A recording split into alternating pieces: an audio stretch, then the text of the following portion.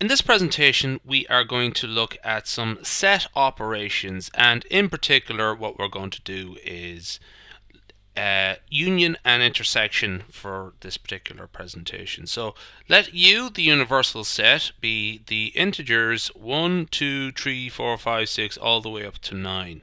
So 1 to 9. And what we're going to do is uh, define these uh, six subsets A, B, C, D, and E and F. And what we're going to do is answer some questions on them. So I'll just first, so find in the first instance A union B and A intersection B. And uh, second question, A union C union D and C intersection D, and C union F and sorry E union F and E intersection F. So just unions and intersections for each pair. So let's look at the first one here, A union B. And what we have here is um, A union B. So first off, let's write out all of the elements of A, just because it's got more. And what we're going to do is uh, just point out that 4 and 5 are in both. So we don't need to mention them again. So just let's write in the remaining elements of uh, B that are not yet mentioned. And they are 6 and 7.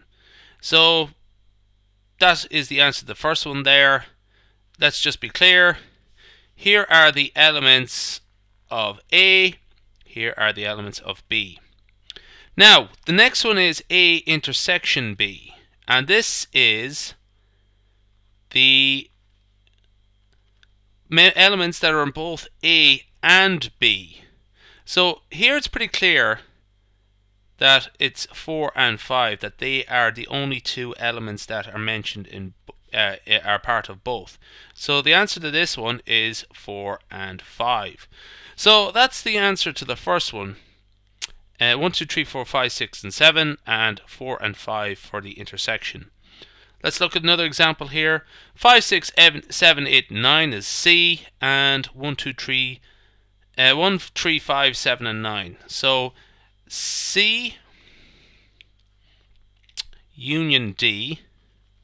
I'll start off just writing out the first few elements here of um, D.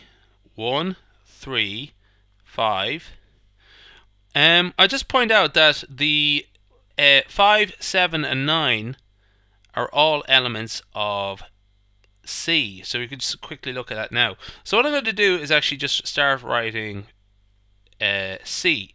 6, 7, 8 and 9. Okay. So um, what I'm going to do now is the intersection. So let's just pick out the elements that are in both. So we have 5 is in both, there. 7 is in both, there. And 9 is in both. So C intersection D is 5, 7, and 9. So the last one is E union F and E intersection F. So we have E union F Let's write them out. One, two, four, five, six, eight, nine.